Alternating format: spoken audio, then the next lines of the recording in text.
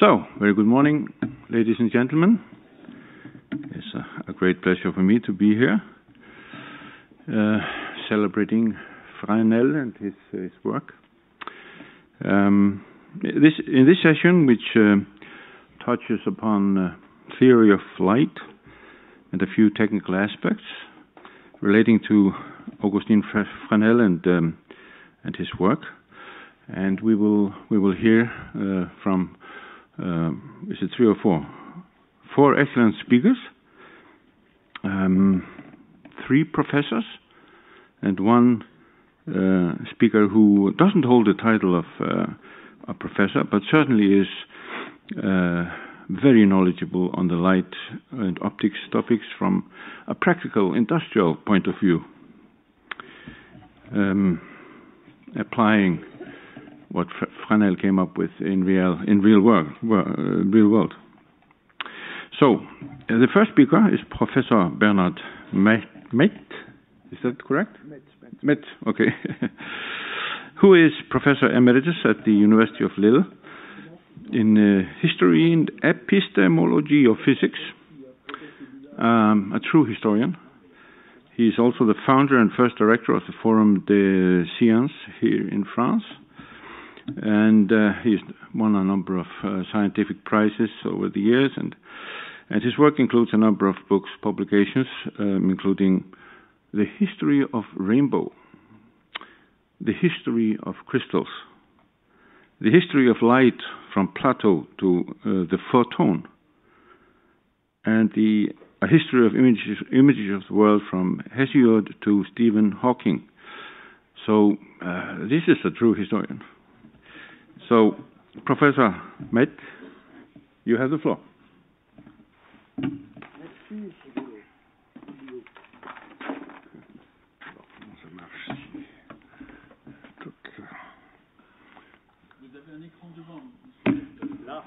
Oui, j'ai un écran devant, je n'avais pas. Okay, so there's a screen in front of me.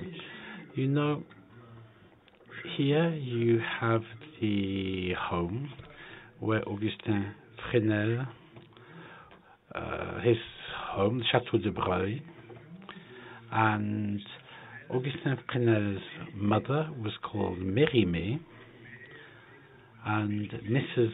Mérimée, Mrs. Fresnel Mérimée, had a brother called Léonard Mérimée, who was the grandfather of the author Prosper Mérimée, so it's a family of some renown and Léonard Mérimée was the president of the Academy of Fine Arts in France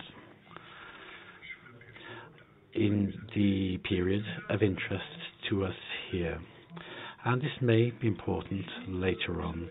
Here you have the Oratorian School of Caen, which also played an important role. This is where Augustin Fresnel did his secondary studies, or what we would call secondary studies today, under the Ancien Régime before the Revolution, which had an education system linked with the different, uh, where there was very little teaching of science, and one of the, the, the few uh, schools that taught science were the Oratorians who taught the ideas of Descartes.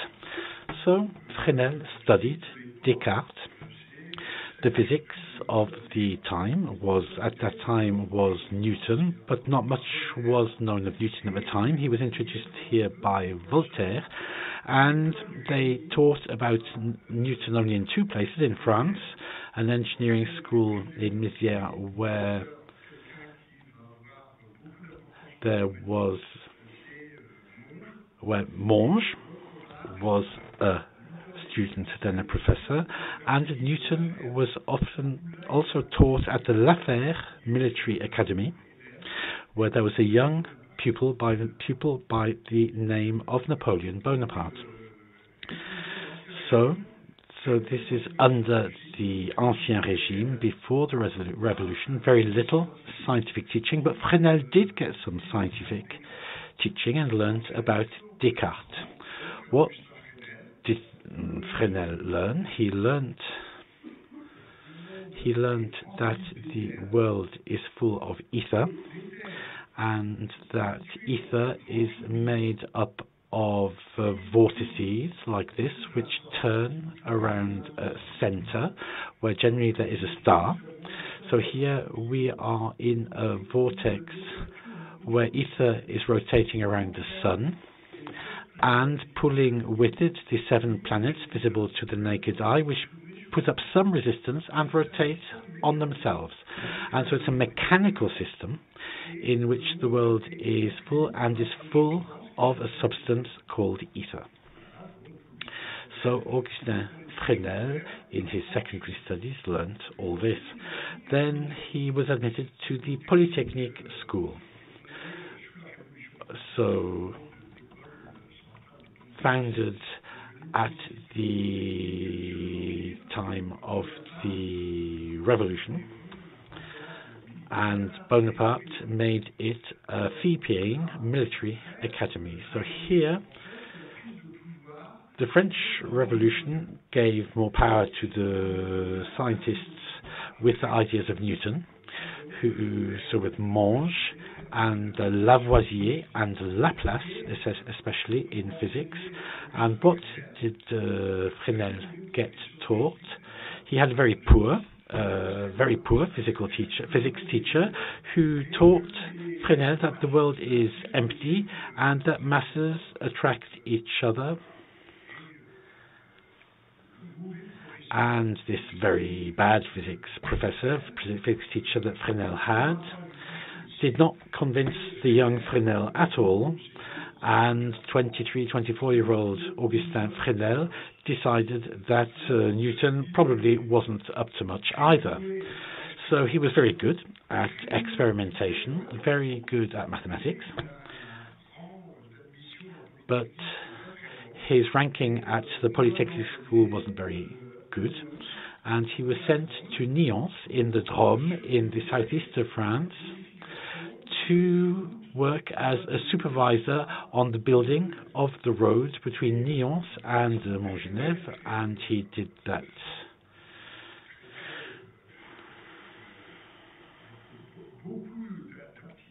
Very well. He oversaw the construction works, he kept track of the accounts, the works, he, he conducted the works, but he was already suffering from tuberculosis. He didn't have any friends, girlfriends. He was in Nyons, a long way from the Normandy of his youth. He was bored, and so he spent pretty much all his free time noting down ideas. Ideas about politics, about religion. He was very religious, very much a royalist and also his ideas uh, consisted in inventing things and such as so that he sent that to his his invention to his uncle Mérimée, Leonard Mérimée, who found a member of the Academy, Gay Lussac, who thought that this uh, invention was great. But the only problem was that if they followed Fresnel's process, the production would cost four times more than at present. And so next he wanted to show that Newton was wrong. So how did he set about doing this? He wanted to show that light is not made up, as Newton said, of uh, of uh, corpuscles uh, propagating in a vacuum, and having not read any of the founding books of physics, Fresnel said to himself that if light is propagated through the ether, necessarily it's in the form of waves, and the waves must uh, move around any shadows. And so he had the idea of looking at how the shadow of a hair behaves when there is a, a point light source. So he took some honey, he put it in the hole, he lit it, and it uh, formed a point source of light. And what he saw, and here you have the first drawings that Fresnel sent to his uncle, Leonard, Leonard Mérimée, which showed that it's true that there are there is a series of light intensities and of darkness inside and outside the geometric shadow. And he was very happy because he thought he had demonstrated that light moves around shadow. He and he wrote this to Leonard Mérimée, who passed this on to François Arago, a member of the Academy, and he immediately wrote to Fresnel and said, You are starting a revolution in physics and in science. Keep at it, keep going. So Fresnel did continue. So this was in 1814. And in 1814, what happened? Napoleon uh, headed off to the island of Elba, and Fresnel was happy to see the Bourbon royal family restored. Shortly after, Napoleon came back, and Fresnel went to see the prefect and said he wanted to to to to sign up to fight against the tyrant, against Napoleon, and he he wanted to defend the royalty against uh, the against Napoleon. So he went off to the army under Marechal Ney, who then uh, supported Napoleon and Fresnel didn't want to, to, to continue in the army if they were going to support Napoleon. So he was sent off into exile in his, his mother's house to keep him out of harm's way. And then the Ministry for the Interior brought him to Paris where he met Arago. And Arago said, read Huygens, read Newton. But Fresnel couldn't read English and so went off to, to, to stay with his mother, and there he continued with the encouragement of Arago to do large numbers of experience with drops of honey, with micrometers made by the village blacksmith, and he sent essays off to Arago saying things explaining the fringes I showed you there very simply, and that light is made up of waves, which are as simple as possible, sinusoidal waves, and that what we see is the superimposition of waves emitted by the source and reflected by each of the edges of the screen, for example, of the hair. And Arago read the the essay to the Academy of Science, and the Academy of Science in, 2000, in 1815 decided to award a prize to anybody. So 1820, sorry, in 1819, sorry, that a prize would be awarded to anyone who could explain how rays of light were bypassing or, or, or moving around shadow and Fresnel took part in the, the competition of the Academy of Science, especially as Arago, now that Napoleon had been sent off to St. Helena, and and Arago got him a grant so that he could continue his experiments, and he sent him an a dissertation in which there is this diagram and containing a very large number of very precise experiments which had been conducted with some very impressive analytical calculations to check all this. So he considered that Newton was totally off the mark, so he attacked Newton very violently in at the very beginning of his dissertation, even though the Academy was won over to the ideas of Newton, and which was going to be awarding the prize. There were about three members of the Academy who weren't in favor of Newton. There was Arago, Ampere, and Gay-Lussac, and all the others were Newtonians. So the Newtonians looked at Fresnel's experiments and calculations that Fresnel had made.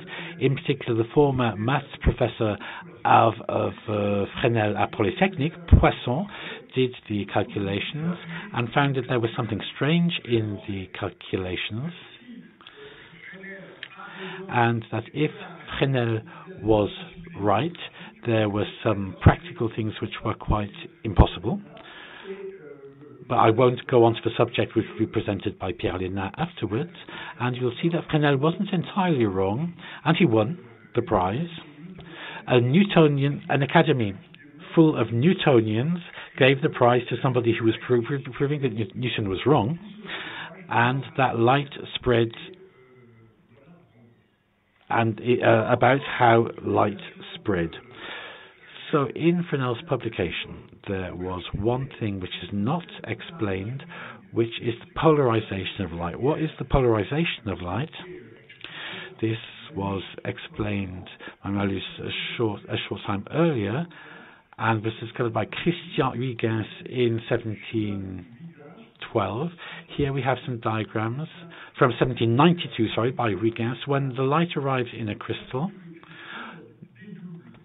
it there is double refraction, and with the second crystal here, which is rotated on itself, this generally forms four rays, except in certain positions where the ray is not doubled, is not split a second time. And Huygens said, I really don't understand this, and I just explained this by corpuscles which were guided by reflection and refraction. But Fresnel couldn't explain this, and so he spent his time conducting experiments on the polarization of light. And with Arago, he discovered, for example, the chromatic polarization by crystals lit by polarizers and analyzers which are either parallel or crossed to identify the minerals present in rock, their refractive indexes, indices. He made a lot of discoveries on um, this, but without giving any explanations.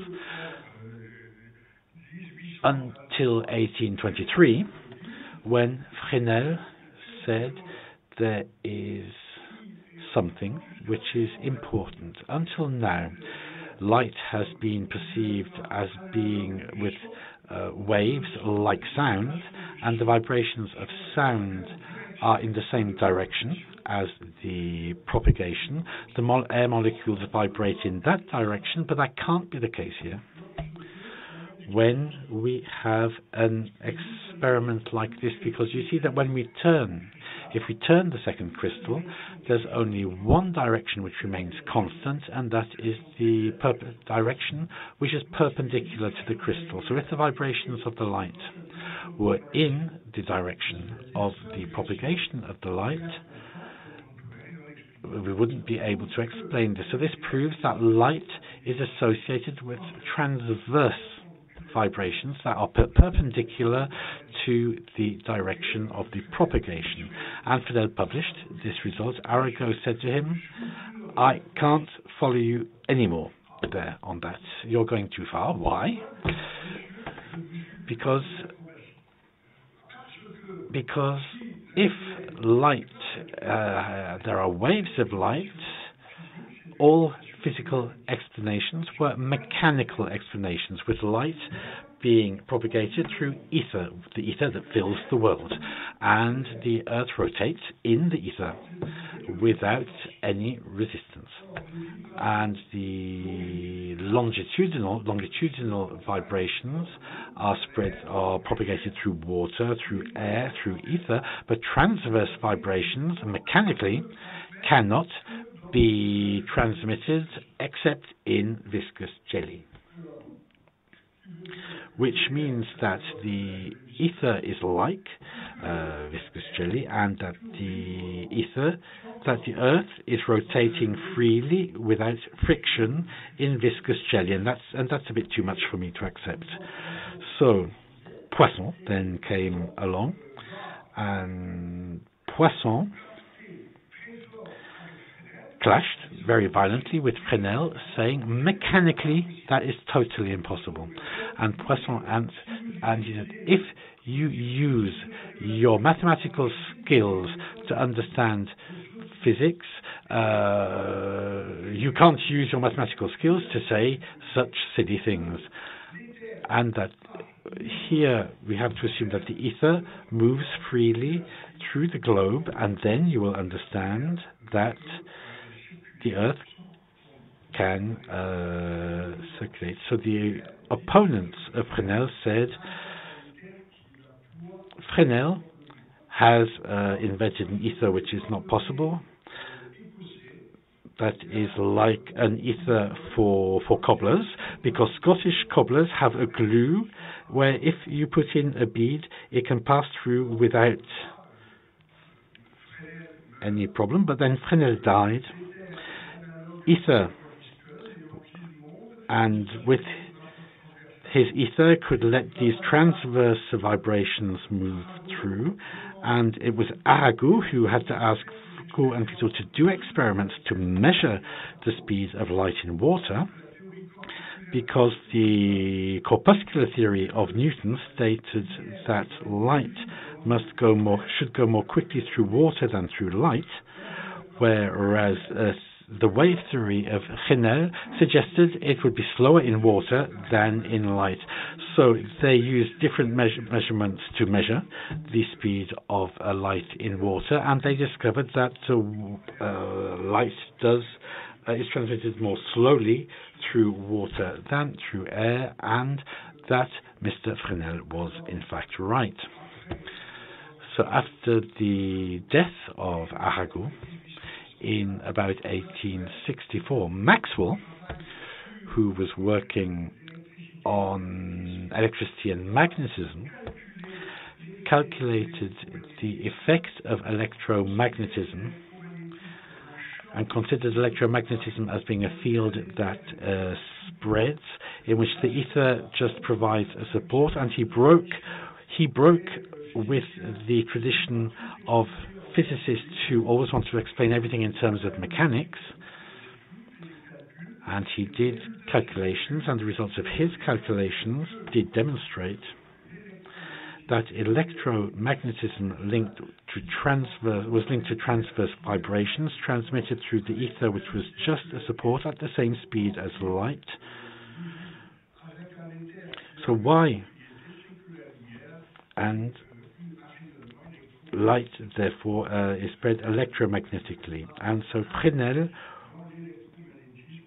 found his place in Maxwell's electromagnetism, and in about 1910, Louis de Broglie, who was born at the Chateau of Broglie,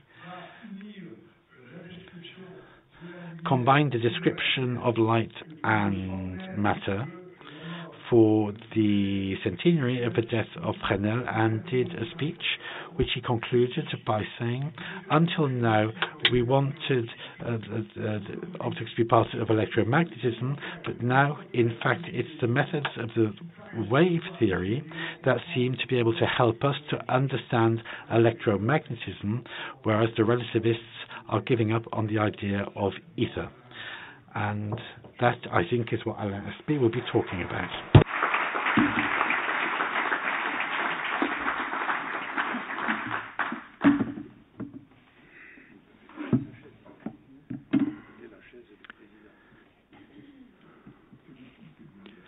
Well, thank you, uh, Professor. I told you he was a professor and a historian, right? Um, very, very interesting. I love it. Very interesting topics. All the names that you mentioned there, you know, uh, Newton and all the other scientists that uh, we we we know of still. He this this was a community of uh, scientific community of uh, master brains uh, at the time. And also, I think uh, that your your speech revealed that Fresnel is just not just about a prism of glass. There's a depth here of understanding of physics. Oh yes, yes. no, no, no. Oh, that's me. Okay, they know who I am. Uh, this is the next one, I think. So, um, yes, the the, uh, the the deep understanding of uh, of, of, theory and uh, and physics uh, leads to great results at the end of the day and, uh, and good solutions.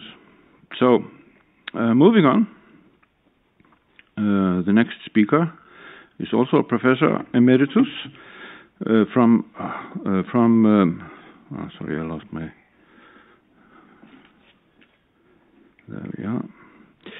Um, from uh, Paris uh, Cité University and uh, Paris Observatory. Um, if I, I, I took this from uh, Wikipedia, so if I have the the correct, uh, yeah, if if I have the correct information, the correct professor. Um, Professor Lena is an astrophysicist, is that right? Where are you? Oh, there you are. Okay. and has worked extensively on the development of infrared astronomy, as well as looking into space. Um, the the European Very Large Telescope uh, built in Chile, and uh, Professor Lena will speak on the Fresnel bright point, which is a phenomenon discovered by by Fresnel in the beginning of the 19th century. And so now we wonder, what is Fresnel bright spot? There it is. Okay. You have the floor.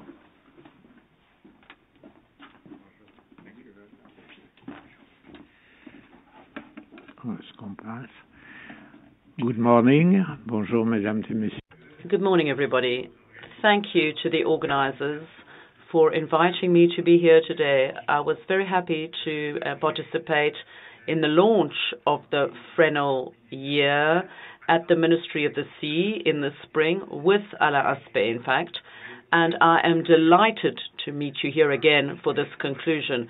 My contribution will be brief to prepare this huge overview of the theory of light that will be defined by Alain Aspect, and I will just take a little time to talk to you a little bit about history and its extension today, this bright spot.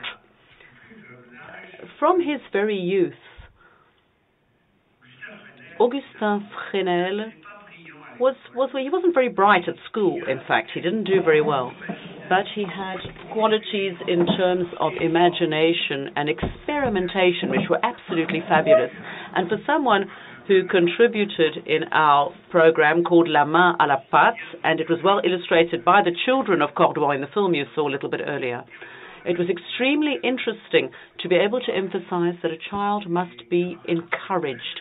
And if a child is encouraged, well, because in, when he was nine years of age, his classmates said that he was a man of genius. So they were obviously more clear sighted than many of his teachers.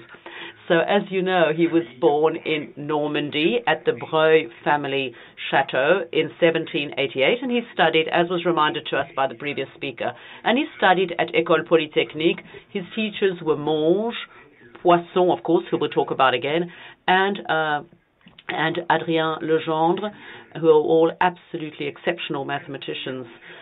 He was appointed in an almost to an almost ordinary service, like the graduates of Polytechnique at the time. Then, of course, there was the Hundred Days and the Restoration, and he was quite bored in his position. And Arago, in his fabulous speech at the time of the 100th anniversary of the birth of Fresnel, uh, and said, I hope that in 2027, uh, he said, I hope that we'll be able to celebrate the bicentennial, oh, sorry, of the death of Fresnel. Uh, and that was said in 1927, and we therefore in 2027. And he he was always looking for uh, experiments to carry out in his ward where he was working. So he was working on irrigation canals. He was very bored. His work was not fascinating to him. And the message he sent to his uncle, he said, This is an extremely painful experience. I find it boring to lead people, and I don't think I'm good at it. And Arago said in his speech, in tribute after the death of Fresnel, in his tribute to Fresnel, he said, a man who was extremely rigorous with great scientific rigor irrespective of the simplicity and the boredom of the task at hand. And all of that uh, tells us how he um, was working at that time and how he published his first essay on the diffraction of light. Uh, the Fresnel archives, his memoirs, are at the Academy of Science. And like all of you, I think it was great emotion for me to be able to read them, including his notebooks in which he, which he wrote all of his experiences. So he focused on the issue of light and you have the two uh, proposals that were made, whether it was uh, light was waves or, or uh, uh, whether it was a wave or a particle, in fact. And uh, the word interference came up, with, we used for the first time today, comes from Jung. But Fresnel uh, did not know the work of Jung. It will be his meeting with Arago that will allow him to become aware of the work.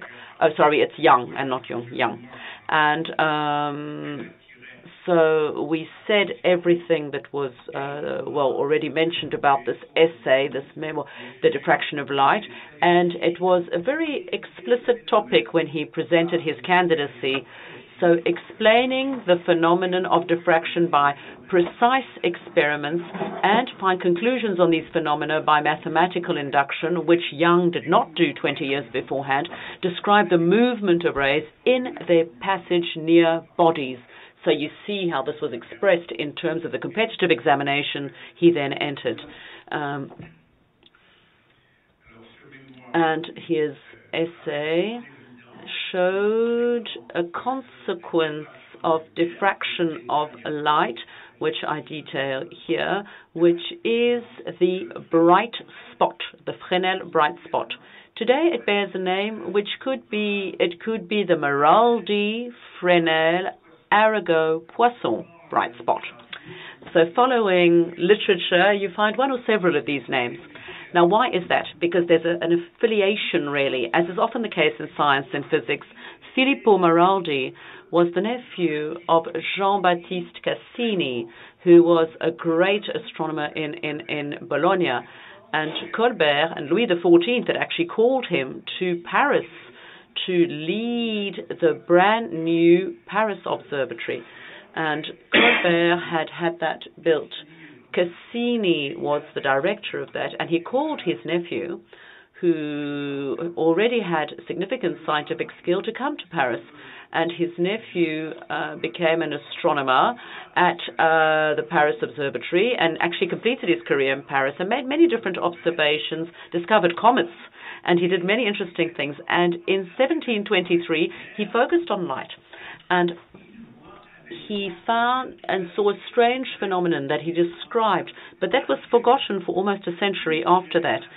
It, he uh, light, lit up a screen with a hole using sunlight, and on the alignment of the ray going through the light, he put a circular mask to, hide the screen. And on a screen behind the mask, perfectly aligned with it, at the center of the shadow of the mask, he saw a bright spot.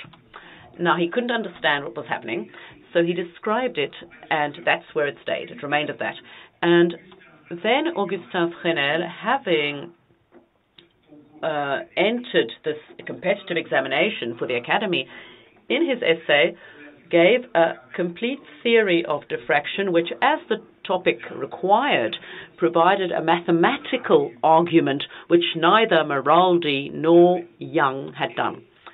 And Poisson, who was an outstanding mathematician and a member of the jury, the panel of examiners, said, Well, this young man looks like he understands mathematics.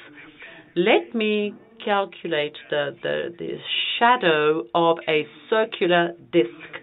And I realized the result of the calculation is the figure at the top left, uh, right hand side, sorry, is around the shadow. There are the diffraction fringes which is not really surprising because the diffraction fringes of a, a hair or well, clearly appeared and had been analyzed in Fresnel's essay.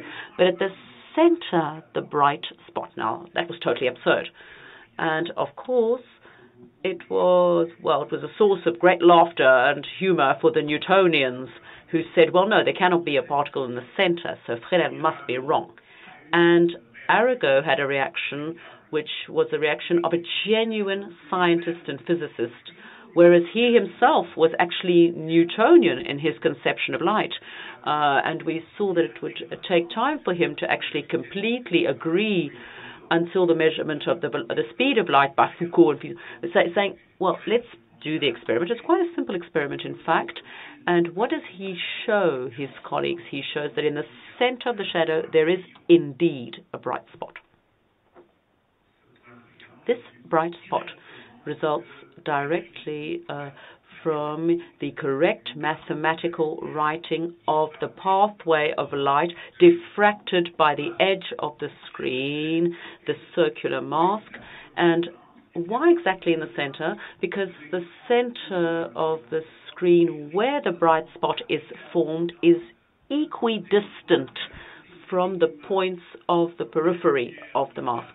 So the light diffracted by each of these points arrives exactly at the same time in the center, hence an interference, a constructive interference figure, as the physicists would say, and the bright spot.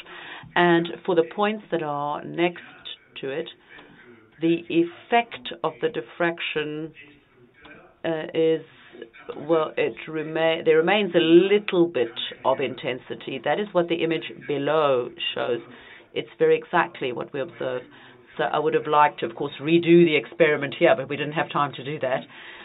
But for the people in this room who would like to make sure that Fresnel was right, well, here is a reference that will allow you at home, uh, for very little expense, to redo the experiment so you can see the equipment you need is not very complicated.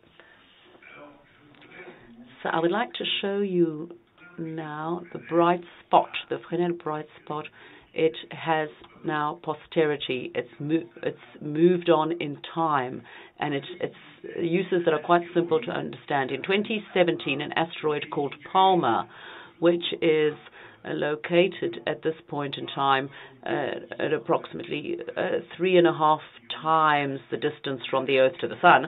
Well, this asteroid, Palma, uh, uh moved in front of a quasar, which is a lum- luminous point it is extremely far, not in our galaxy, and this luminous point is extremely bright in terms of the wavelength of visible light, but in particular in radio frequency wavelength.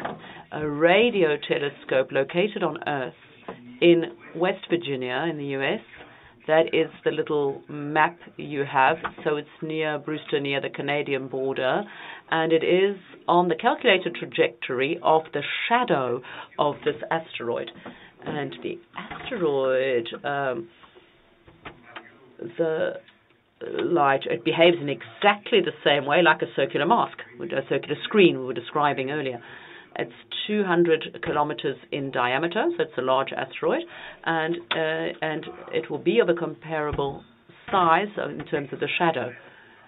And because the terrestrial screen is not entirely perpendicular, the trace of the shadow is a little bit of a little bit oval, so it's the ellipse you can see, and it moves quite quickly over the surface of the Earth. Now, all you have to do is measure that shadow and the experiment allowed us, well, an experience allowed us in 2017 to prove the uh, luminous intensity that you have here with the Fresnel bright spot obtained in a configuration that Maraldi could, of course, never have imagined. And of course, the story doesn't stop there. And in the three minutes I have left, I am going to give you a new version, a modern version, a futuristic version of the bright spot. You know that the astronauts are very focused today on exoplanets, so planets that are similar, uh, well, different but of the same nature than the planets of the solar system, but located around other stars. We know several of we know of several thousand today. The problem of the observation with these objects is that they are very close to a star, which is much brighter uh, and much, uh, much, much, much brighter, uh, sometimes a million or a billion times brighter than the planet itself. So the difficulty of observing the characteristics, the properties of these exoplanets is huge. It's, it's very difficult and it's of great interest in optics and, and the terms, in terms of the instruments we built.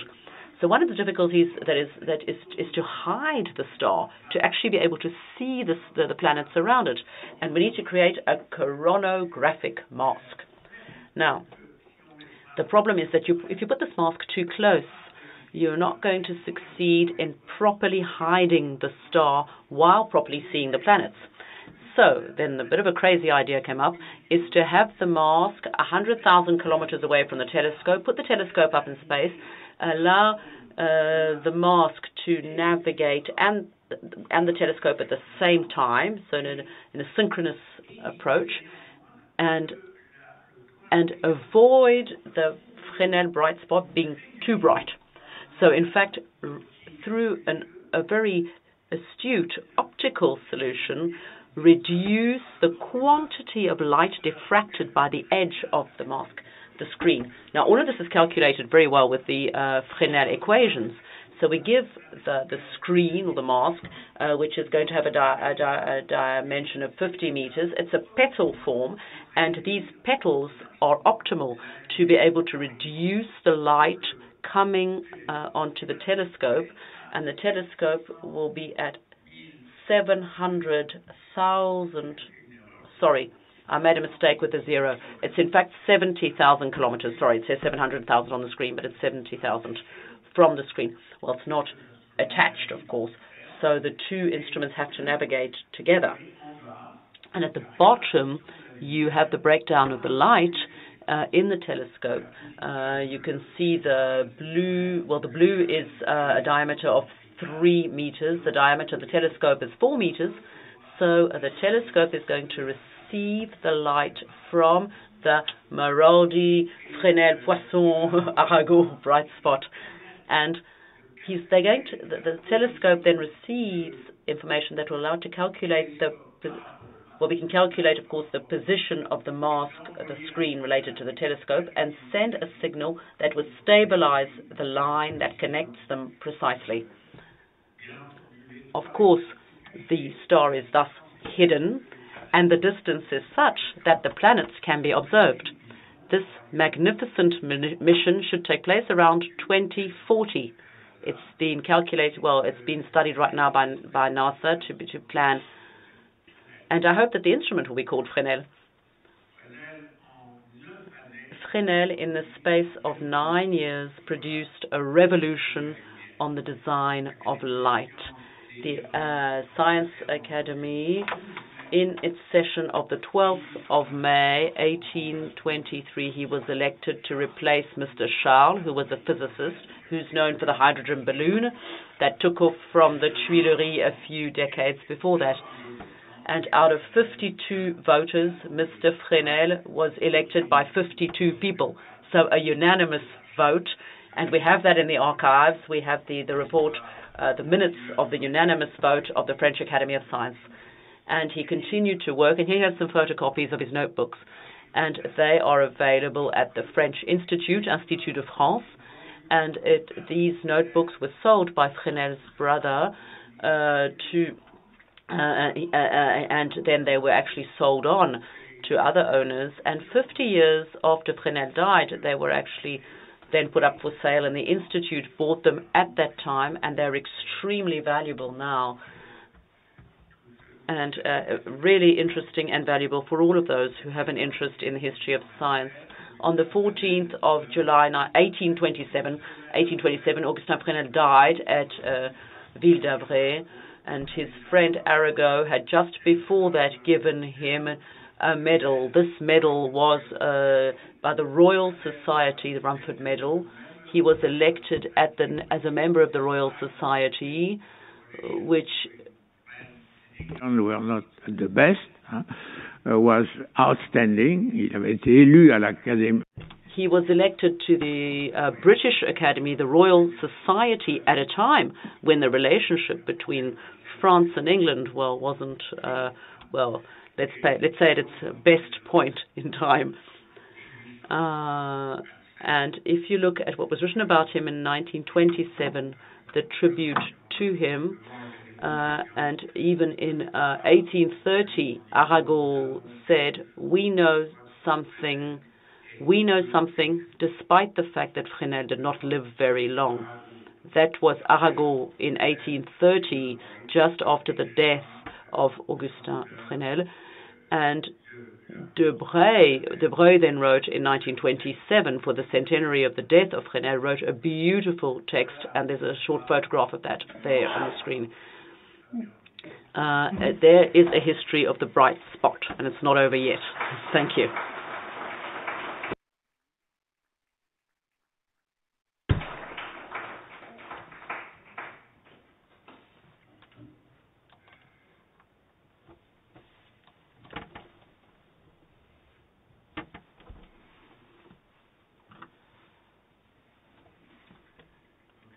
Thank you very much, Professor. What a takeaway from your, your lecture. A lot of interesting aspects. Of course, uh, we forgive you forgetting a factor of 10 in astrophysics. Uh, one zero out of, you know, we're talking about exoplanets, so distances are very large. uh, but uh, uh, one of the things that I noticed from uh, several speakers now is the importance of mentors. Uh, his uncle, he's writing to his uncle, and he's uh, being encouraged by his uncle and some other fellow scientists. Uh, carry on, young man, and uh, that made him made him great with his, together with his uh, his own, uh, of course, intelligence, but also enthusiasm to, to, that drove him. And again, the depth of what Fresnel was doing is far larger, and the importance is far larger than we could expect. We're talking about a lens, right? Um, so, uh, the next speaker, if I can open here, yeah, is Professor Alain Aspect, who is a professor at Institut d'Optique uh, and uh, at the University of Paris-Saclay. So Professor Aspect graduated in physics in 1969, correct? Uh, and received his PhD uh, degree a couple of years later, 1971. So uh, he's uh, a bit old. Maybe also a historian, I don't know, but uh, but he will move us into a, a more recent part of of, of this more, more, recent application of of um, or aspects of uh, Fresnel. Um, he has studied interest, interesting topics such as Bell's inequalities, laser cooling of neutral atoms, uh, Bose-Einstein condensate. So we are now up in Einstein times. And clearly, uh, Professor Aspect knows what he's talking about when it comes to quantum physics. And this is why he will talk about Fresnel and quantum physics. So you have the floor. Thank you.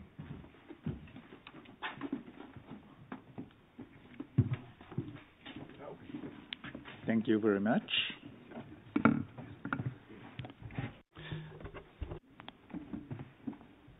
Oh, il faut remonter au début. Could perhaps go back to the beginning of the presentation. Okay, there we are. Thank you. Invited, uh, thank you for the invitation. When I was invited here, uh, I was aware that most of the audience. Uh, uh, je parle en anglais ou en français au fait En français. Donc quand. So, excuse me. The slides are in English though, so when I was invited here. The impression I rightly got, I think, was that most of the audience would be people who are familiar with lighthouses and with the work of Fresnel as an engineer and as an inventor. And for me, I'm a great admirer of Fresnel because when I was offered a chair at the Institut Optique, I gave it the name of the Augustin Fresnel chair because he is someone I have always admired. But I realized that there are really two communities who have completely different visions and sometimes almost exclusive of each other. In lighthouses, everyone knows he is a very great engineer and inventor, and the physicists see him as a great physicist, and many of him are totally unaware that he was a great inventor. They may have heard about the Fresnel lens. They're not aware that thanks to Fresnel, France dominated in the construction of lighthouses, if I have understood correctly. So ultimately, the pitch that we, as we say in English, the pitch for what I'm going to present here is that ultimately, today more than ever before, the, con- the most fundamental concepts are giving rise to some extraordinary applications in quantum technologies today, which can be linked to the duality of to wave particle duality. Now, I have to start my timer, otherwise I'll, I'll just keep talking forever. You see, I've already stolen two or three minutes from you. That's it's a little trick I have. So, light through the ages. In Egyptian times, as you can see, it was the sun sending multicolored flowers.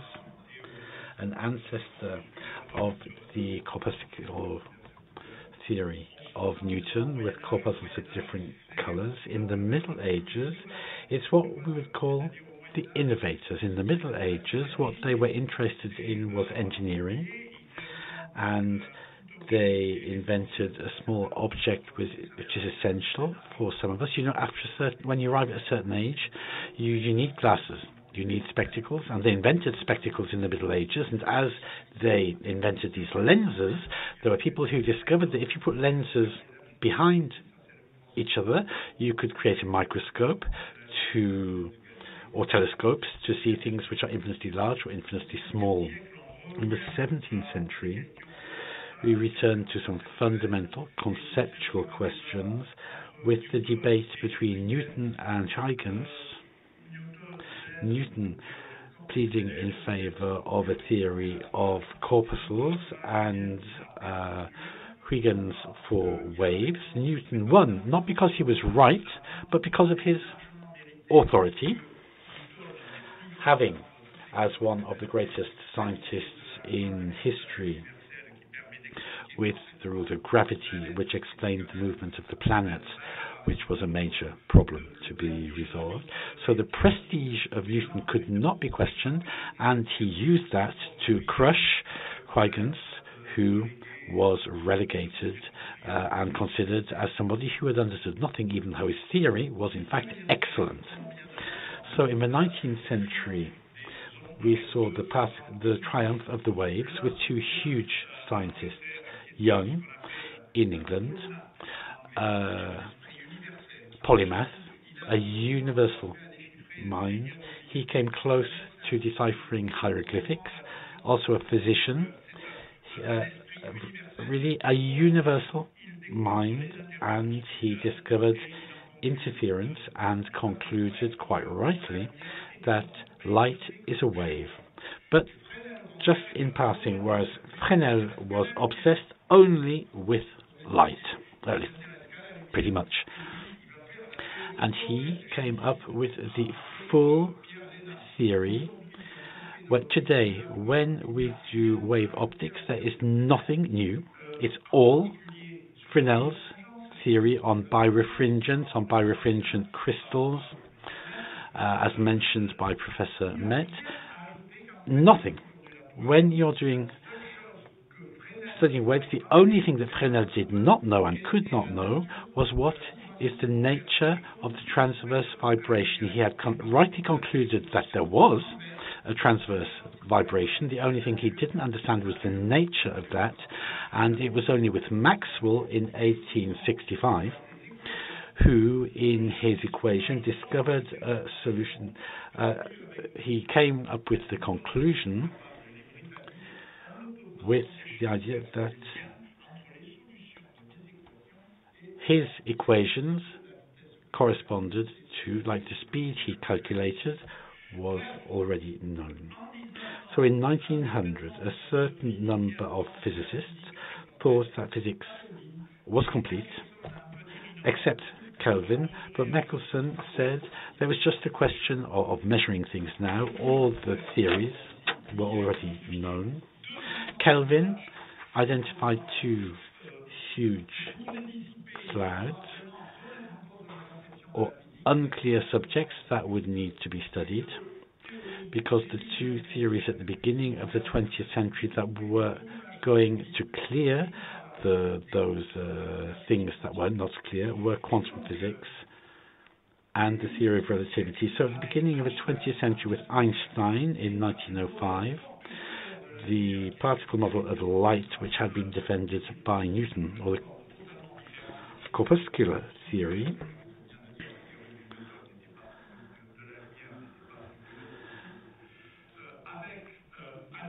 with Einstein, we had a new corpuscular theory of light. Einstein came up with the theater, the theory that light was particles with according to the frequency of the waves. Nobody believed him until 1915 when the great physicist who measured the charge of the electron said that he embarked on a series of experiments to show that Einstein was wrong and proved that Einstein was right. He was very good at experiments. He was perfectly honest, proved that Einstein was right, and the Nobel Prize was given to Einstein in 1922, or perhaps 2021, awarded in 2022, for the theory of light.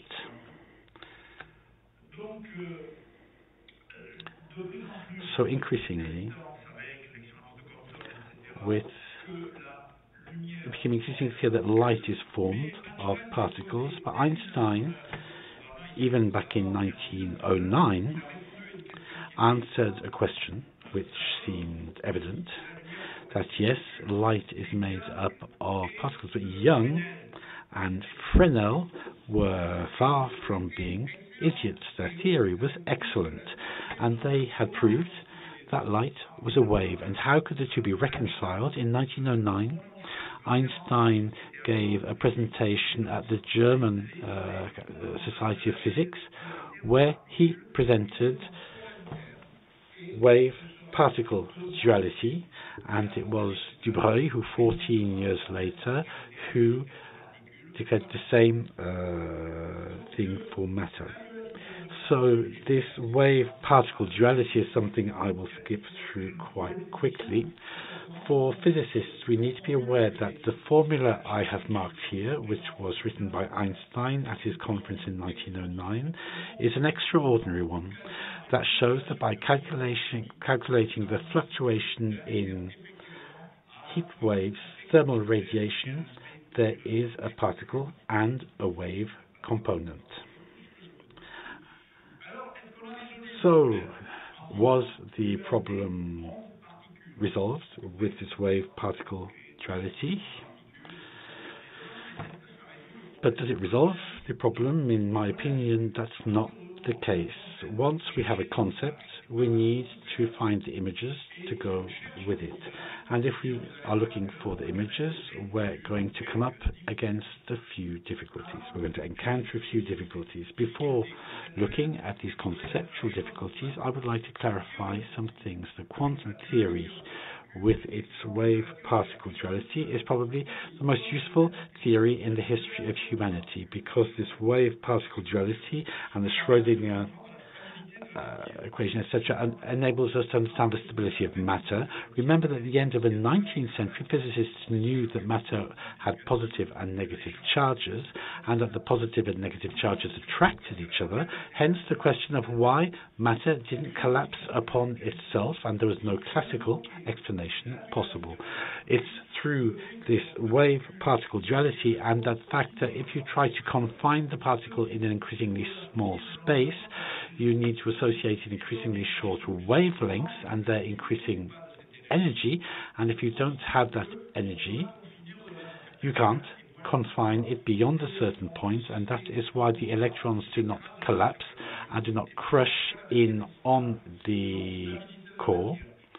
So matter is stability, chemical bonds, how material emits light, All this gave rise to lasers, to transistors, to integrated circuits, and also to our information society that we have today, information and communication society. So once again, I emphasize quantum theory does have some conceptual issues, but it's been a huge success. So now for wave particle duality. The laser, for example. In a laser, you have billions and billions and billions of photons. And okay, so it's a wave, but you can represent that wave as having a statistical property formed by this number of photons. In the same way, when you have an electron, electronic current in a transistor, it's billions of electrons which are passing through, and you can say the wave aspect is a statistical representation of that whole, which therefore raises the question of whether this wave particle duality can be observed with a single particle. And this is the issue we addressed with Philippe Grangier uh, in the thesis of Philippe Grangier. And if I could just correct something, in 1971, that was my dissertation on holography. It wasn't my my uh, PhD thesis on the inequalities that got me brought me my renown was in 1983. So with Grangier in 1985, roughly, we addressed the problem of whether we can observe wave particle duality for single particles. So here you see the experiment, which can be found in a certain number of physics manuals, physics books, which had never actually been done. So we have a source. It's a shame I don't have my computer. I could have shown you. Oh, we have a source which emits I've got mine here, so here, and it's green, I like it. So we have the source emitting these particles, which are all identical. We put in two holes, and what this experiment shows is that if we move the detector, we see a modulation in the probability of presence. There are places where we have a not a lot of particles getting through, and others where there's none at all.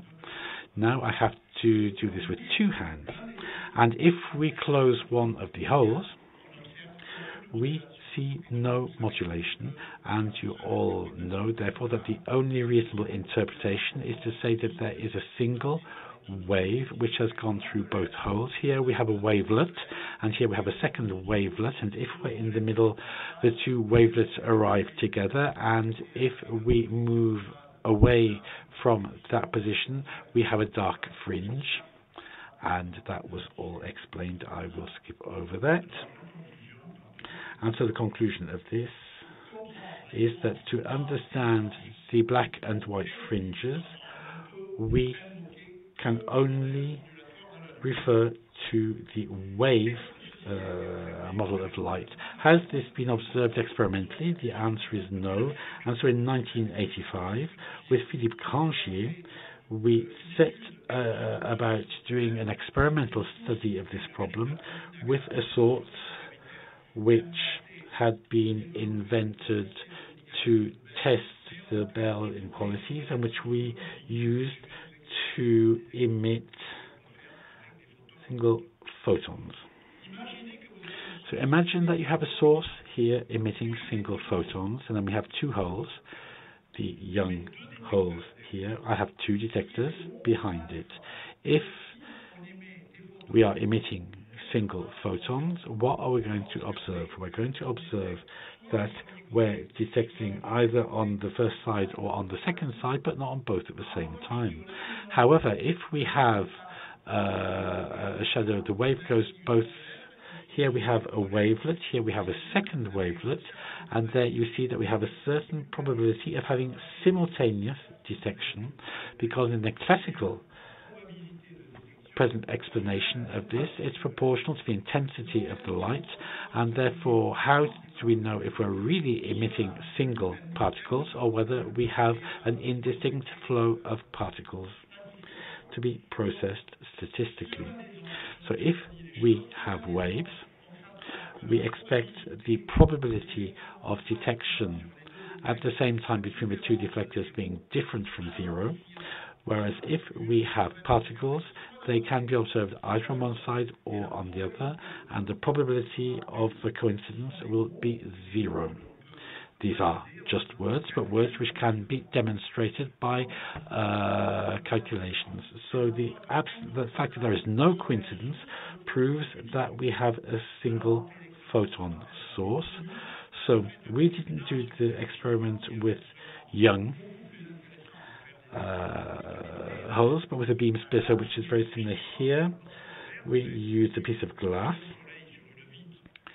You have seen when there is a ray of light of sunlight on the window, how it changes the angle. So here we have half which is transmitted, half which is reflected. If we have a single photon arriving here, it's a particle. It will go either one side or the other. And if it's a wave, the wave will be split in two. And as it's split in two, we will have a uh, probability of detection at the same time, which will not be zero. So here it's zero. Oh, sorry, I don't know how long I've spoken. My, my stopwatch seems to have stopped. I'm not sure how long I've been speaking for. Oh, 15 minutes. No, it's okay. I've just started again. I've still got 15 minutes left. So, difference zero or non-zero difference. But how can we distinguish between zero and non-zero? For a mathematician, there's no problem. Zero is very different from not zero. But for an experimenter or a physicist, it's zero, but how much there are uncertainties in physics, and so we have to define things a bit more clearly. And so with Philippe Grangier, we defined a criterion, and this I'll show this here for those who understand the equations of physics. For the rest, you don't need to read it. When you go to a concert, you don't need to be able to read music. You just listen to the music, and here it's the same thing. Listen to me, and don't bother looking at the equations. So here we have a wave model of light. The probability of single detection is proportional to intensity, but the probability of joint detection is proportional to the intensity squared. And if we then have average values for that, we have uh, for the Schwarz uh, relationship here, which shows that the average of the square is greater or equal to the square of the mean. So if we do two or three small equations, we come to the conclusion that if we have a wave, the probability of joint detection is necessarily greater than or equal to the product of the probability of single detection, the one here and the one there.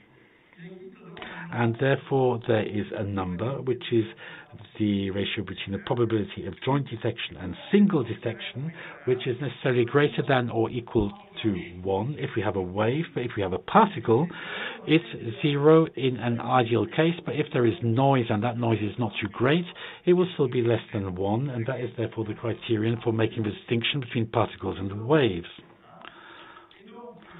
And it's very simple. We're going to emit single photons. And when we did these experiments in 1985, never had anyone created a source of single photons. But because if you're a bit naive, you say, how can I create a source of single photons? I'll take an atom, I'll excite it, and then wait, and sooner or later it will have no choice. It'll have to give us a single photon. Except that at the time, we now know how to do that, but in 1985, I'm thinking of Fresnel. I keep saying 1800 rather than 1900, but I'm not that old. So in 1985, nobody was capable of isolating a single um, photon. So with Philippe Grangier, we had the idea to test the Bell inequalities, I had developed this source in which there were two photons, photons emitted in a cascade, one after the other, green, purple, green, purple and it's a, with this, and between the two photons, the green and the purple, there's five nanoseconds, whereas in average, there, there is a photon every uh, thousand nanoseconds. So the idea was to say that if at the moment when we observe the green photon, in the few nanoseconds after it we observe it, we will have a single photon, we can't have a second one. And this is how we constructed the first source of single photons, the first single photon emitter. And with this emitter, we did the experiment and we found that the alpha number was much lower than one. It wasn't exactly zero, but we understood that because there is noise and there are, uh, are different uh, interferences in the experiment, and we had a, a clear particle-like behavior. And so with this, we then asked ourselves the questions. and So with this single photon, is it going to interfere? Is it going to interfere with itself? And for that, we built an interferomet in which we have the first semi-reflecting, and then with a, a, mirror and a second mirror, then re recombine it. And here, if it's a wave, here, the recombination here will depend on the differences between the routes on one side and the other. If the two are of equal length, they will arrive at the same time in one of the two channels. And but there are other factors that come into play. But once again, if the two rights are equal, it will all come up out on this side. If there's half a wavelength out of sync, it'll be part two. But if it's a particle, it will go either one way or the other. So we did the experiment, and with our single photon emitter, I won't go through all the details, but we observed that when we move this mirror, when we vary the difference between the two paths, we do see a sinusoidal modulation, even though we're still working with the same single photon emitter. The experiment was done again in a modern way. Obviously, if I'd had my computer, I would have shown you, but here we're showing you a PDF, so it's not the same. So here you see that 20 years later, we can now do this, we can have fluorescent molecules on a microscope slide, and if the solution is diluted enough, we can pinpoint a single fluorescent molecule, light it with a green laser, which emits red single photons, and with a dichroic mirror which reflects the red and lets the green through, which means we have a much simpler system for having a single photon emitter. I'd have been happy to show you, but we can't from my PDF file. The only thing I did want to show you is when we they, when young people have done this experiment, Philippe Grangier and myself, we were the godfathers of this experiment but we have convinced people that instead of using Young holes, they should use Fresnel by prisms, and I hope you appreciate that. And this is how the experiment was done with a Fresnel by prism. So if we forge ahead, this is where I would like to impress you. The first experiment is that we sent our single photons through this and detected either on one side or the other, but not both at the same time. So that's really a particle. Then with the same thing, but this time behaving as a wave, because when we move this mirror, we have a magnificent oscillation modulation here. So it's the same source, the same emitter, sending out the same parcels of waves, but with contradictory images. And this brings us to the central difficulty with optical physics. I'm, I'm going, might need to skip a few slides because my watch seems to have stopped again. Uh, I, according to this, I, have done 22 minutes. So we'll skip through that experiment. So just very quickly. Wheeler, so Bohr, so Bohr's complementarity. I'll do a quick explanation of Bohr's complementarity. What Bohr is said to have said, uh, there's no conceptual problem, because in the first experiment, if you ask the question, is it a particle or is it a particle?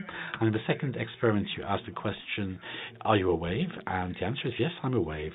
So why am I talking like this? It's because Bohr, with his complementarity theory, or philosophy, I should say more than theory, said that objects do not have a physical reality in themselves. They show a certain aspect of their physical reality or another aspect of their physical reality, depending on the question you ask them. And as you cannot ask the two questions simultaneously, you need to understand that if we compare this with something else, if you think of three dimensions, if I look on one side, I see one thing. If I look at, on the other side, I see something different. And it's the same depending on the question I ask. Either I get the wave response or I get the particle response. And if we follow this through to the end of the reasoning, it's the measuring instrument itself which creates the behavior, and then Wheeler comes along and says, but imagine if I haven't put it set up the second part of the experiment. So here, when the photon arrives here, it doesn't know what question we're going to be asking. And if it doesn't know what question we're going to be asking, how is it going to decide either to go on one side or the other, or to go on both sides at the same time? So it's Wheeler's delayed choice experiment. We did that. We were able to do that experiment and to show that at the moment, even though when the photons arrive, we haven't decided between the two setups, we have found an electronic way of introducing the devices after the arrival of the photon.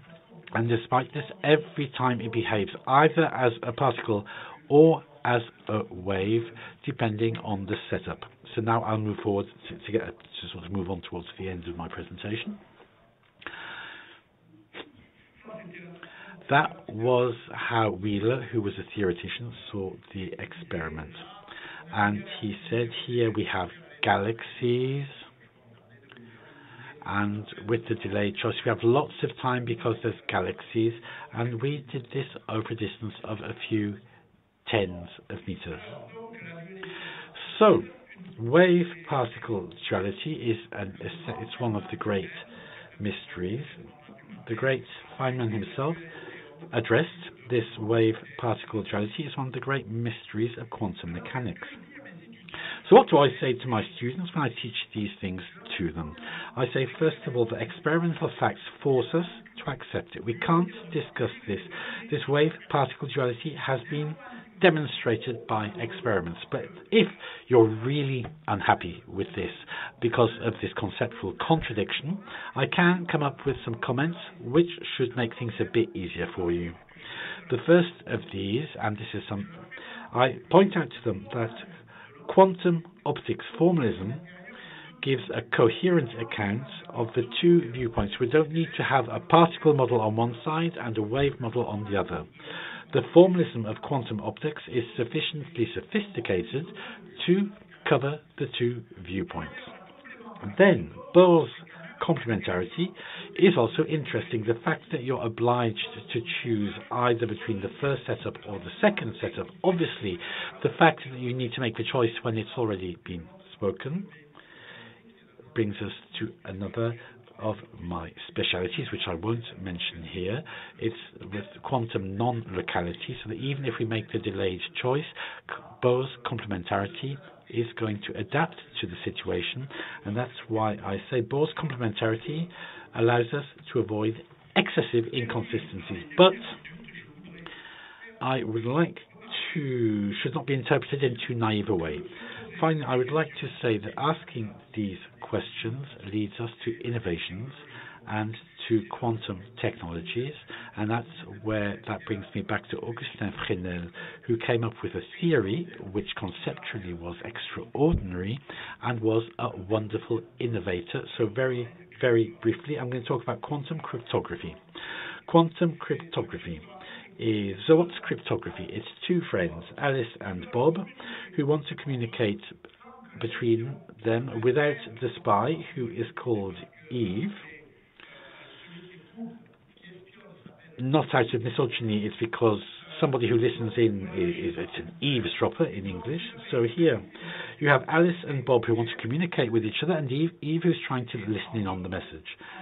And by using the fact that the photons you are sending here can are both single photons and can be detected only once. So the spy who is on the line, if they get the photon, they destroy it.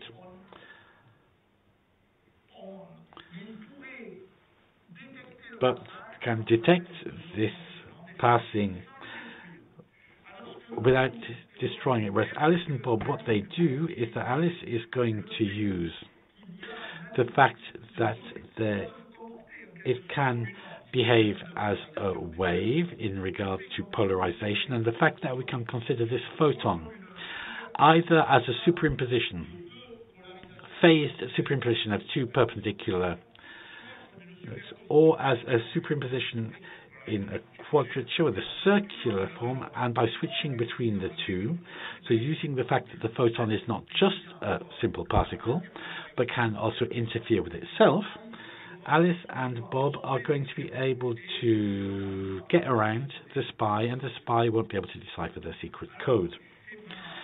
This is actually applied. So here you have an application.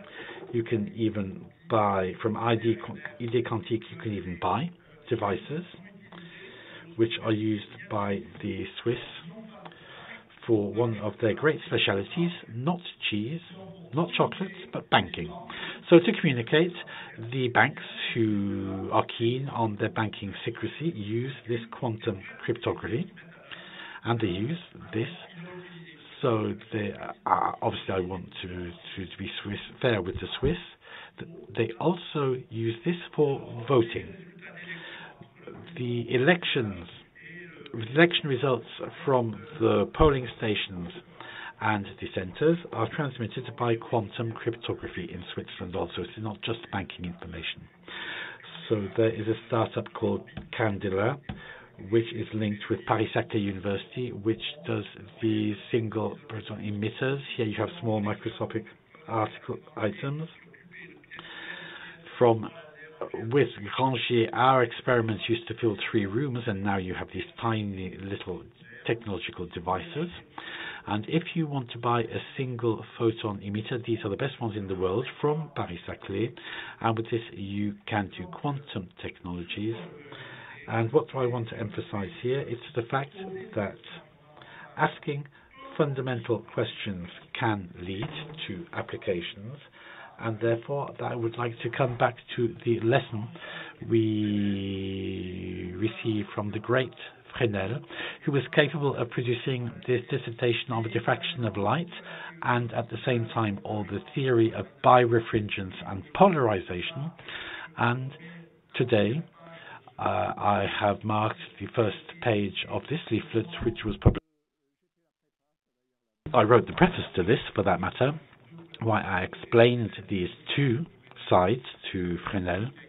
It's a leaflet which was published for the launch of Fresnel year, and we have the wave particle duality to quantum information and cryptography. And this really, I really would like to emphasize to all of you working in the world of lighthouses that you must be aware that this is one of the greatest theorists in optics. And when I am with physicists, I emphasize the importance of Fresnel's lens and his work on lighthouses, which we can see when we visit a lighthouse. Thank you very much for your attention.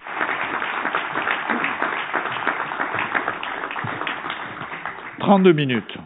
Ça va? So 32 minutes.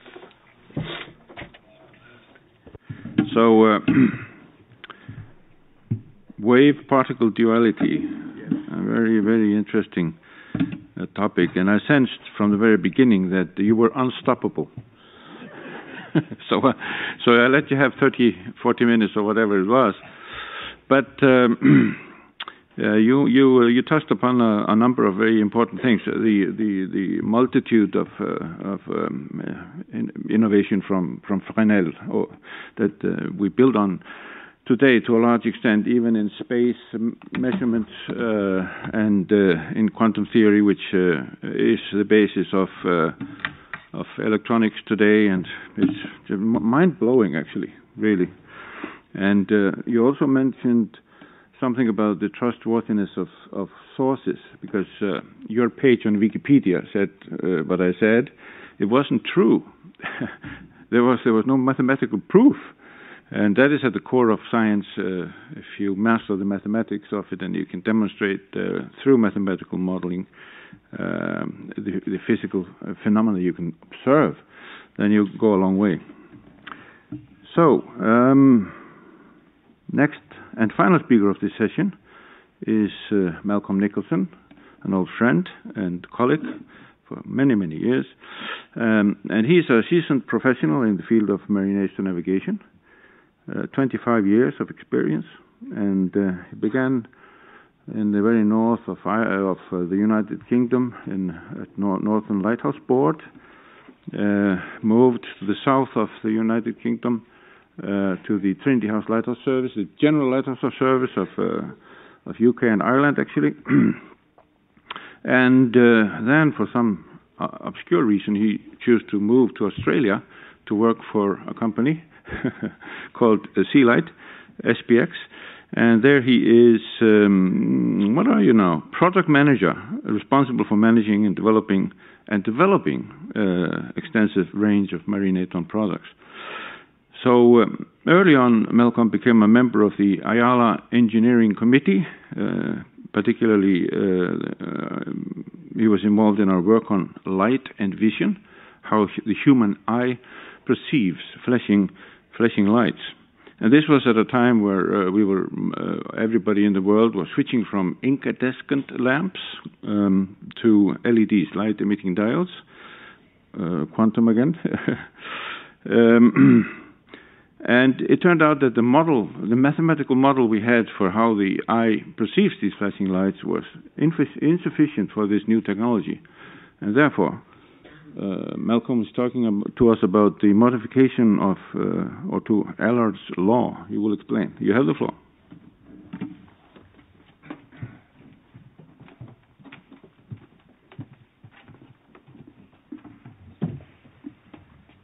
Uh, thanks, Omar. Uh, great to be here. Fantastic news for all of you. I have six slides. So I'm going to be um, pretty quick and I will definitely, definitely keep to time. Um, fantastic and very interesting presentations. Um, I want to follow the money a little bit, if I may, because that's how we all end up. So um, let me come back here. Um, Fresnel developed the lens because we wanted to project light as far as we possibly could to make the waters as safe as we could so that sea captains would want a call at your port. That's where the money comes in. So when we promote lighthouses, um, we want to project light as far as we can. So we actually need to calculate and measure what that distance is. So when you provide a good system of aids to navigation, ships will want to call at your port, and that's where the money comes. So if we follow the money, we'll be okay. So following the money a little bit from uh, putting candles in lenses and trying to project light as far as you can, um, some years later we wanted to quantify it and to measure it so we could publish it. Um, so Émile Allard um, had his formula for. Uh, oh, okay. That's you. That's me. Yeah, that's, yeah, that's, that's you. Yeah. That's good. So he published his formula, um, whereby you wanted to calculate the illuminance at the eye for the signals that you were providing. Um, and that's quite a complex method. You, you can solve it you, using uh, Newton-Raphson method. Well, if Newton was right, maybe not. Um, but you can solve it. But in practical terms, we want to rearrange it to calculate the intensity that we need for the range that we want to see the signal. So you take the minimum illuminance at the eye and multiply it by the distance squared and then you divide it by how it passes through the atmosphere.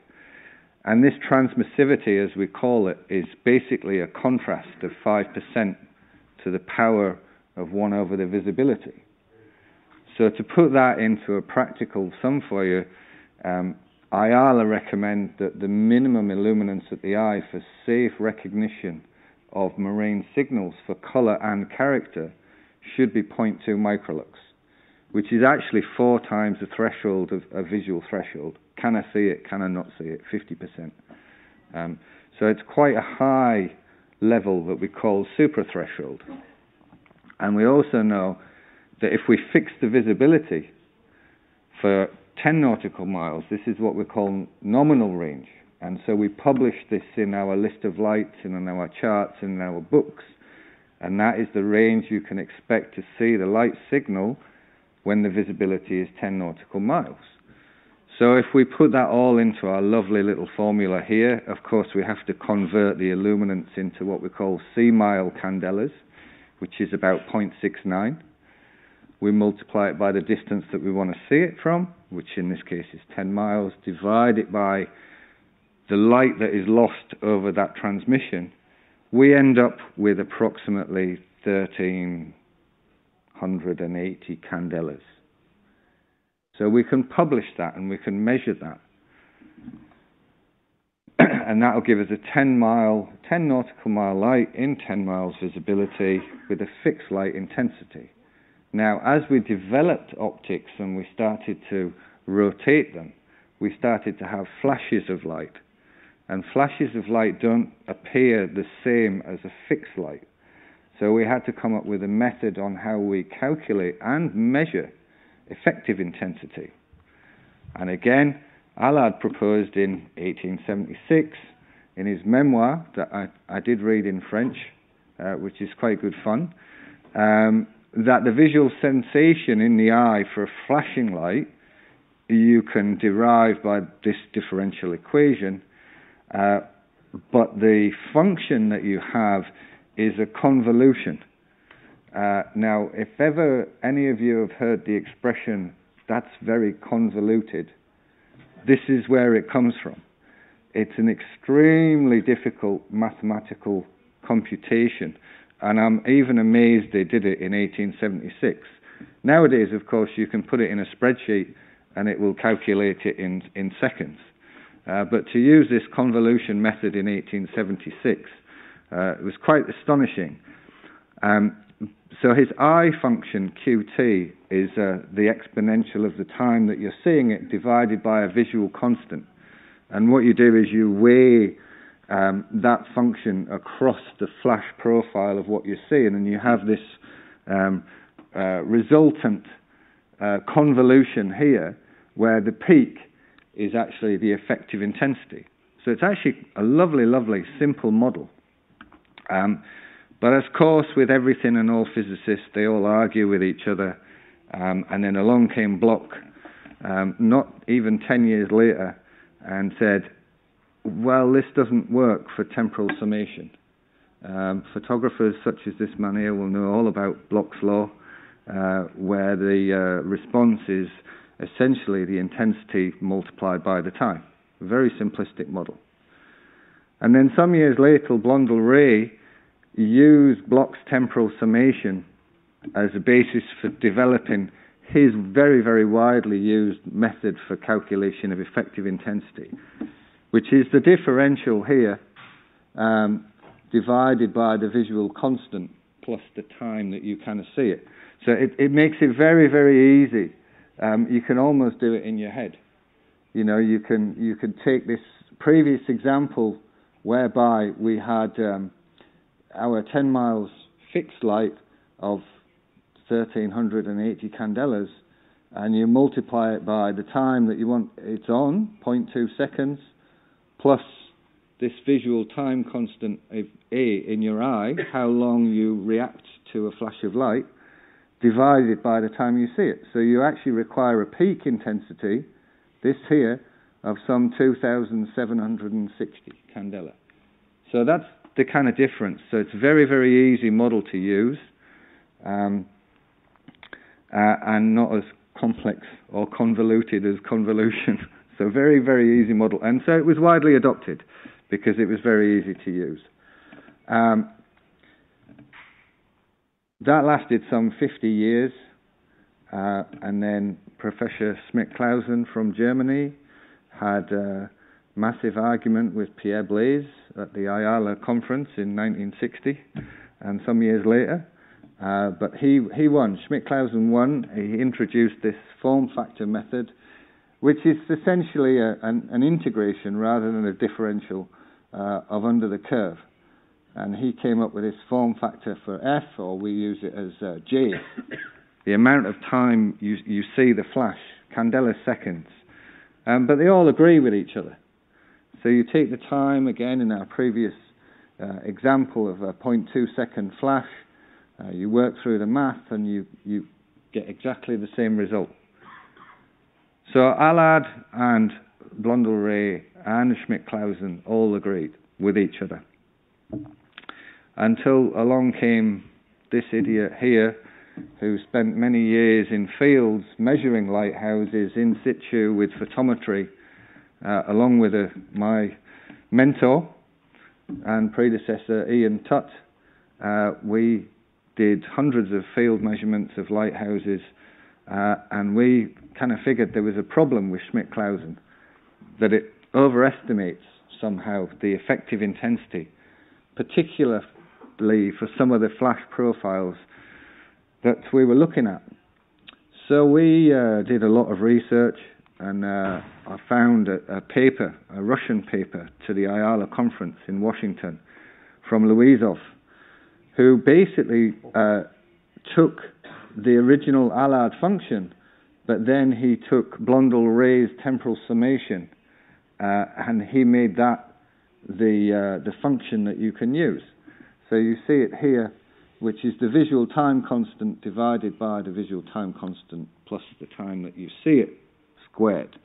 Um, so we proposed, uh, myself and Ian proposed that um, to CIE and some much more cleverer mathematicians than both myself and Ian uh, came up with this model and this function uh, under Yoshi Ohno, who was the president at the time, and Dennis Couzens, uh, definitely credited with that. And this was adopted by IALA uh, on the basis of a mathematical model, uh, but with a visual time constant of 0.2 seconds. And it's very important that all these different models agree with each other, uh, and you have to do a lot of visual experimentation um, to to validate what it is you're doing. Um, so Ian and myself spent many years in a dark room with uh, flashing lights at unsuspecting students and visual observers um, to come up with it. One of the other things we felt that wasn't quite right and that we'd experienced um, visually in the field looking at flashing lights for years and years and years was this visual time constant of 0.2, 200 milliseconds how long your eye takes to respond to a flash of light is actually only value at, valid at threshold. When we talk about threshold, the 0.05 microlux, is it there, is it not there? And of course, when you raise that level of illuminance in the eye, it doesn't need as long to respond to that flash of light. That was my theory. Um, and thankfully, we were managed to carry out experiments um, in, in Harwich and more laterally by Alwyn Williams, who was my successor at Trinity House. Um, and we concluded that a, a value of 0.1 second for the visual time constant at super threshold would be adequate and would work. Uh, and so we did all the experiment and we presented it to IALA and uh, that has now been adopted. So five years' work for 100 milliseconds is uh, not too bad, actually. Um, in practice, how does that benefit us? So, because the modified Allard method agrees with all the other methods, you can use Blondel-Rey um, to do your calculation. Okay, but instead of having an A of 0.2, you can have an A of 0.1. Uh, so this reduces your uh, peak intensity required for an effective intensity value here. So it gives you a reduction of 25%, which from a practical, either from a manufacturer's point of view or a service provider's point of view, a reduction of 25% in anything is an absolutely fantastic result. So you can save power uh, and you can generate better, better more conspicuous si- signals. So my final uh, example is to use the example here. If uh, we want to um, have a, a, five nautical mile light that flashes once every five seconds for, for half a second, um, that's what we call a 10% duty cycle. It's on 10% of the time, so we save power um, and while maintaining the range. If we use uh, an A of 0.2 seconds, we need 76 candelas peak. But if we use uh, a 0.1 A and reduce the flash by another 10%, we only need 68 candelas. So we can reduce the peak power and we can reduce the duty cycle. And that, what that does is it extends the lifetime of the signal that we're providing as well. Um, so I hope that's been a, of a little help and a little understanding, uh, and that's where we follow the money. Thanks.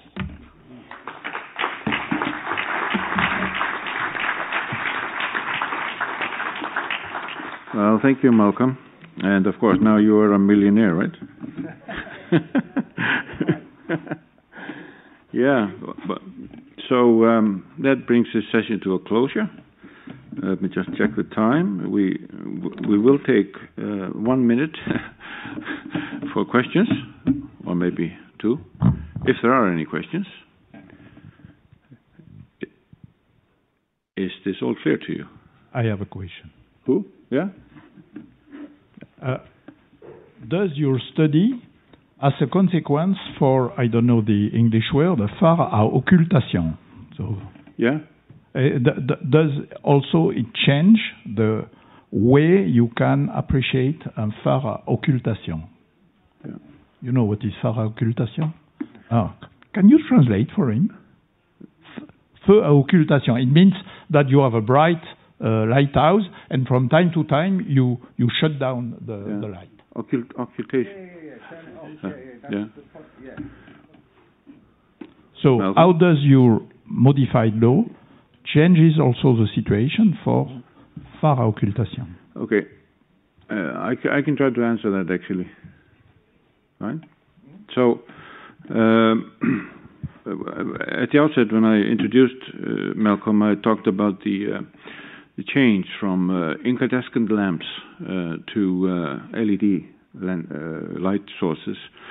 And the difference in characteristics of these two types of light sources is that the incandescent lamp um, has a way, has a, the pulse, the light pulse has a, shape which is like gradually increasing and gradually decreasing, that the eye perceives this in a particular way with its uh, 0.2 or 0.1 time constant. The signal from the receptors in the brain, in the eye, into into the uh, neurons of the brain, it takes time. But uh, so if the if the shape of of it is gradually increasing and um, uh, and reducing, it has a certain uh, um, effective effectiveness. But uh, the LEDs they ha have a very sharp 10, 20 nanosecond uh, rise and fall. And that is therefore perceived co completely different by the brain. Uh, so, what we heard from mariners uh, reporting back to um, to navigation providers was that these new lights are much, much brighter than uh, the old lights. And uh, they're much more clear and crisp and uh, and that led to the thinking, okay, we're wasting wasting power. We don't need uh, the range of the light is intended to be so long, 10 miles, and we are reaching 15 miles or whatever. And therefore, we uh, we started working. That, that, was actually the driver for for this work that Malcolm talked about. So um, uh, yes, it makes a difference. Yeah. I wish we had. Uh, I, I wish I I had known who you were because we slept in the same cabin, not together, but in the same cabin. Uh, what a wonderful conversation we could have had yeah, last night. Sure. so, any other questions? Yeah? Anybody? Yeah, there's one. Bonjour, c'est Monsieur Aspect. Hello, this is a, this is a question for um, Mr. Yes, just speak into the microphone, please. Anton uh, Zeilinger's book on photons. Uh, did they work with you on that story, on that book? No, we worked on the same topic. We knew each other. When Anton Zeilinger said that he was working on, well, he was working on neutrons, he wanted to start working on photons, he actually sent some of his colleagues to my laboratory to learn about the techniques. So we worked on the same themes, but we did not directly cooperate or collaborate. But I just want to take advantage of this question to uh, tell you that I'm also preparing a book which will be If Einstein Had Known, and it will be published a few months from now, uh, at the beginning of 2024, at the Odile Jacob, with the Odile Jacob publishers. So just a bit of advertising on my part since you give me the opportunity. Thank you. But anyway, Yes, you can ask me other questions. yeah. anyway, any other questions, please? Okay. Well, that uh, brings us to, an end then, and uh, I have to, of course, thank uh, the organizers for the opportunity to be here and to enjoy this fantastic session, actually, and the other sessions as well. Um, the audience for being here. It's a great pleasure to be together with you, enthusiasts, um, and also, of course, my great speakers. Can we give them a round of applause?